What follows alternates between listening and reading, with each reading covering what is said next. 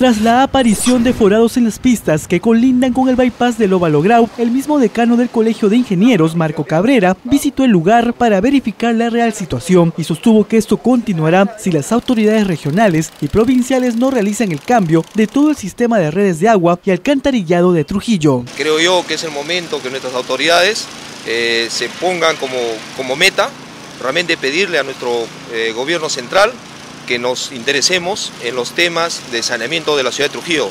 La ciudad de Trujillo no se merece tener ese tipo de problemas. Tenemos una matriz obsoleta, una matriz vieja, que fue diseñada para otras condiciones de trabajo, bajo otra, eh, eh, cantidad de personas que habitaban nuestra ciudad. Ahora tenemos una ciudad grande, una ciudad que tiene obras como esta. Asimismo, confirmó que en los próximos días el Colegio de Ingenieros conformará una comisión para que estudie el problema minuciosamente. Luego de ello se emitirá un informe que será presentado a las instituciones competentes. ¿Van a venir esta comisión? Eh, bueno, eh, los ingenieros, como ustedes entenderán, son ingenieros ocupados que tienen trabajos en diferentes partes de nuestra ciudad o del país. Entonces, en unos dos o tres días yo les voy a enviar la información que tengo y si ellos pueden, ojalá se pueda dar y alcancen a ver esto, lo, lo van a hacer.